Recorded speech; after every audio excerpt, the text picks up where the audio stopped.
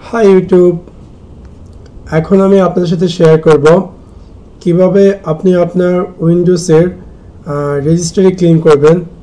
সেই ক্ষেত্রে আপনি আই ওপেন করে আমার ভিডিও ডিসক্রিপশনে একটা লিঙ্ক দেওয়া আছে। তারপর আমরা এটা ডাউনলোড করে নিব, যেটাকে বলা হয় সি ক্লিনার সো আমি অলরেডি ডাউনলোড করেছি এবং আমার কম্পিউটার ইনস্টল করেছি আপনারা ডাউনলোড করে ইনস্টল করে নেবেন। সো যখন আপনি ডাউনলোড করবেন ইনস্টল করবেন, আপনার ডেস্কটপে এরকম একটি শর্টকাট কি শো করবে, তখন আমরা ওপেন করি। ওপেন করার পর এখানে আপনাকে দিবে রেজিস্টারি এবং ডিফল্টভাবে সবগুলো চেক করা থাকবে এবং আমি ক্লিক করব স্ক্রিন ফর ইস্যুতে ক্লিক করব। যখন স্ক্রিন ফর ইস্যুতে ক্লিক করব, তখন আমাকে এখানে দেখাবে যে আমার রেজিস্ট্রিতে কোনো সমস্যা আছে কিনা আমার কম্পিউটারে সো এখানে সবগুলো ইস্যু শো করবে। সো আমরা একটু ওয়েট করি। এটা একটু টাইম নিবে ডিপেন্ড আপনার হার্ড ডিস্কের স্পেসের উপর এবং আপনার কম্পিউটার স্পিডের উপর।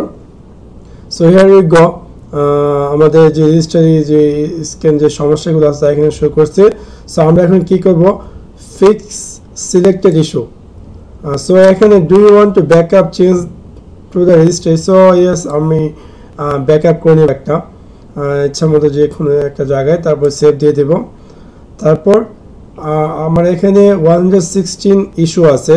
সো আমি এখন ফিক্স অল সিলেক্টেড ইস্যুতে ক্লিক করব এবং এটা এক এক করে here we go I fixed issued fixed hundred percent so close so I hope আপনাদের ভিডিও ভালো লেগেছে এবং thanks for watch my video bye bye